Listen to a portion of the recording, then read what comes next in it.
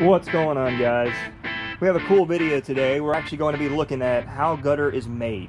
So in front of me here I've got a, Senox Barracuda K-style gutter machine. Uh, this machine actually puts out 6 inch gutter and uh, we're going to just go through the whole process of how it starts from sheet metal all the way until it comes out the other end, how we cut the miters, and even how we put end caps on this gutter. So this should be a good video today. I hope you guys learned something from this. Okay, I'm now at the back of the machine where the coil is fed in and where the whole process starts. Up here, you're going to see the roll of coil. This is where it had previously been cut. Uh, anyway, the first thing that we do is cut dog ears on each corner of the coil to avoid jamming the machine.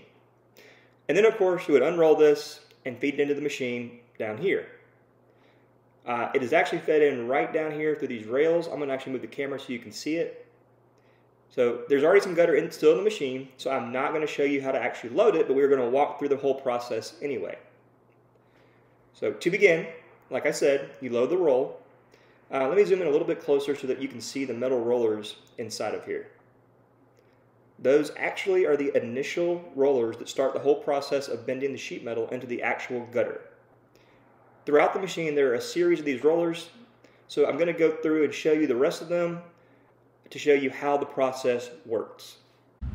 Uh, so funny story guys, uh, I was under the impression this machine did not have an extra coil holder right here in the middle, and that's going to prevent me from getting into this machine to actually show you the internal rollers. So you're going to take my word for it that it works great, and uh, for now I'm going to move on to the back of the machine and show you guys how the gutter comes out uh, and how it's made. Okay guys, so now I'm at the back of the machine and I can at least show you the final two rollers. Uh, if you look in here, you can see these two metal rollers right here. Uh, those are the ones, the final rollers that uh, make the back lip of the gutter nice and straight and even. All right, it's time to make some gutter. So I'm going to go ahead and press the button. The machine's in forward, meaning the gutter is going to come out. And then I'm going to show you kind of the different cuts we make on it and uh, the end caps and all the other things that we do to your gutter to get it all ready for your home. So first I'm going to go ahead and press the button and watch as it comes out. As simple as that. So if you look, get a little bit closer, you can see the, uh, this is a K-style gutter machine, by the way. You can see that, that back lip that I was just telling you about earlier. Uh, the final rollers make sure that comes out perfect. And uh, so here we go. All right, now we're gonna talk about the two different kinds of cuts on your gutter. Um, if it's the end of the gutter, then we put an end cap on it, just like this.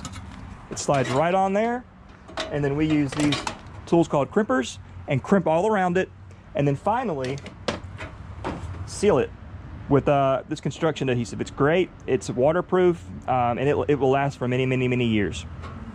So that's an end cap. There's another kind of cut though. So, uh, your home, chances are you have curves, you know, around the corners of your home and, and inside corners. So the way we make the gutter work there is we put a template inside the gutter, we mark it, and then we use snips like these to cut the gutter into the right shape. So there's two kinds, there's insides and outsides. Um, so very simple, but it works great and it, it makes your gutters as seamless as possible. So finally, whenever we're done with your gutter, making the miter or putting the end cap on, we have to cut it.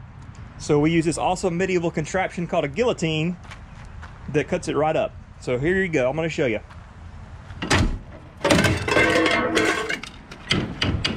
Just like that. You've got a clean cut, and of course you'd have a miter or an end cap on this side. Well guys, I hope that was informative, educational, and, and interesting. Um, we hope to make more content in the future coming up real soon. So if you enjoyed this video, give us a thumbs up and like and subscribe.